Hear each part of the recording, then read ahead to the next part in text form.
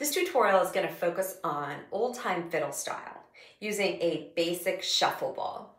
Old-time fiddle music was largely used for dancing, and so we want to get this feeling of down, shuffle, up, shuffle when we play, rather than using the standard down, wiggle, up, wiggle, even bow.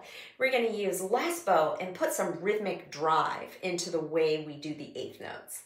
I'm going to let my friend Charlie show you how to shuffle. I'm Charlie Walter and I'll be teaching you how to do the shuffles today. So it's overall fairly simple and we're going to start off like this. One, two, ready, go.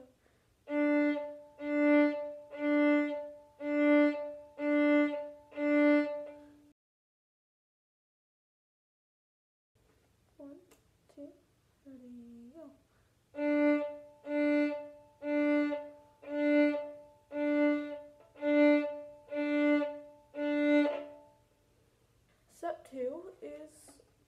Those two notes together.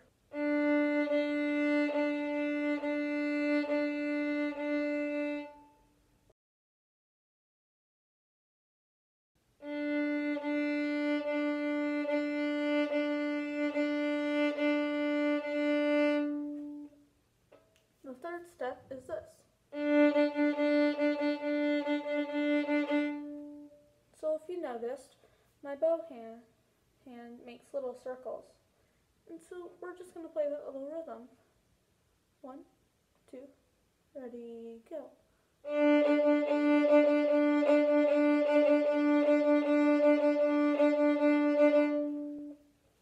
Keep in mind that you should be moving with your elbow,